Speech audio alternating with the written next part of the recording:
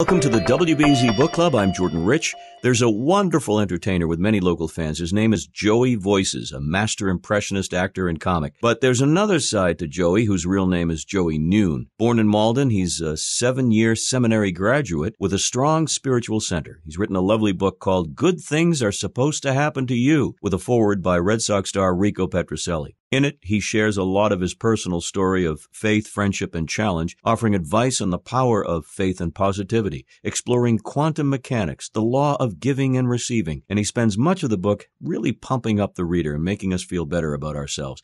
You know, it helps to have a wonderful sense of humor. After all, Joey is a pro, and his depth of knowledge about religion, philosophy, and science would make this a great gift for a friend who needs a pick me up or for you if you're finding yourself stuck. Good Things Are Supposed to Happen to You by Joey Noone, available on Amazon and at joeyvoices.com. The Book Club, WBZ, Boston's News Radio.